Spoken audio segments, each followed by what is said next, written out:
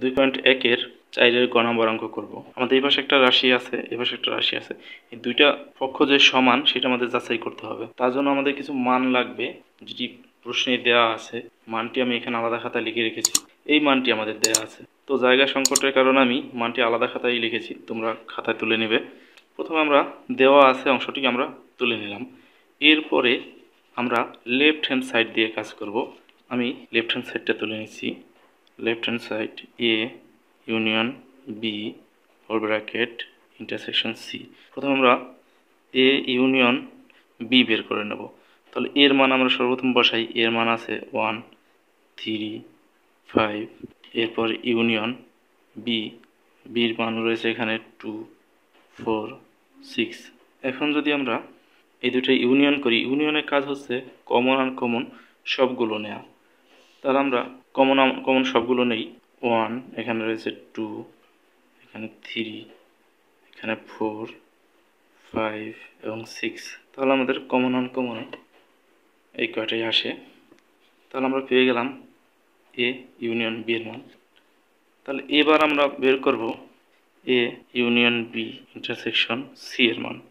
আমরা এ union B এর মান যেহেতু বের করে নিয়েছি আগেই, তাহলে সর্বপ্রথম আমরা এ ইউনিয়ন বি এর মান বসাই। One two three four five six intersection C আমরা জানি সি এর মান দেওয়া আছে আছে three four five six seven তাহলে আমরা যদি এই দুইটার মধ্যে ইন্টারসেকশন করি আমাদের ইন্টারসেকশনের কাজ হলো শুধু কমন মানগুলো বের করা।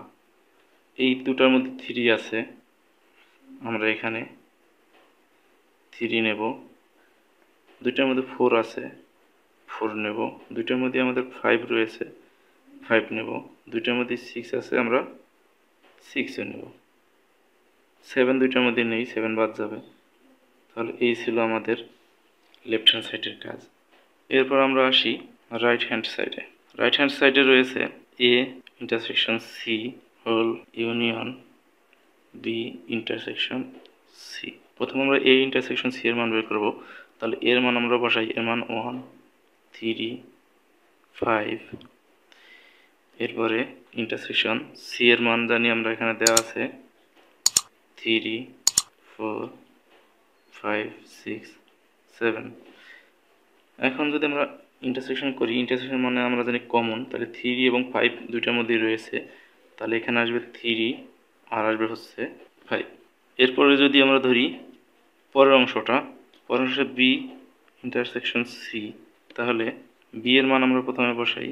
বি আছে টু ফোর সিক্স এরপর ইন্টারসেকশন সি সি এর মান হচ্ছে এখানে three four five six seven এখন আমরা এই দুটার মধ্যে ইন্টারসেকশনের কাজ করব মানে হচ্ছে কমন উপাদানগুলো খুঁজে নেব। আমরা জানি দুটার মধ্যে টু নেই, একটার মধ্যে টু আছে টু যাবে না।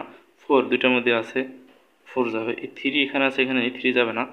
এখানে সিক্স আছে দুইটার মধ্যে। তাহলে ফোর এবং সিক্স দুটার মধ্যেই ফোর এবং সিক্স যাবে। তাহলে এখানে দুইটা মান আমরা পেলাম। এখন হচ্ছে এইটা আর এইটা পুরাটার মান বের করার কথা।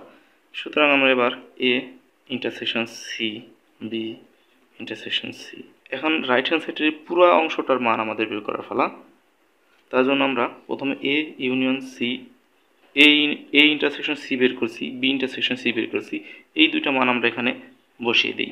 এ ইন্টারসেকশন সি এর মান হচ্ছে থ্রি ফাইভ ইউনিয়ন এরপরে ইউনিয়ন দিয়ে আমাদের এখানে বি ইন্টারসেকশন সি এর মান পেয়েছি ফোর সিক্স এখন এই দুইটার মধ্যে যদি আমরা কমন আনকমন নেই, তাহলে হবে থ্রি এখানে রয়েছে ফোর ফাইভ এখানে আছে সিক্স তাহলে এই হচ্ছে আমাদের রাইট হ্যান্ড সাইডের মান। আমরা লেফট হ্যান্ড সাইড যদি ফলো করি লেফট হ্যান্ড সাইডে আমরা এই মানটি পেয়েছিলাম এবং রাইট হ্যান্ড সাইডে আমরা এই মানটি পেলাম। এখন দুটো ফলো করলে দেখা যাচ্ছে এখানেও যেই মানটি রয়েছে, এখানেও সেই মানটি রয়েছে। তাহলে আমরা লিখতে পারি, সুতরাং A union B intersection C equal to A intersection C union B intersection C যেহেতু দুটা সমান আছে, তাহলে এটা সত্যতা আমরা যাচাই করতে পারলাম। তাহলে লিখতে পারি, সত্যতা যাচাই করা হলো। আশা করি সবাই বুঝতে পেরেছ।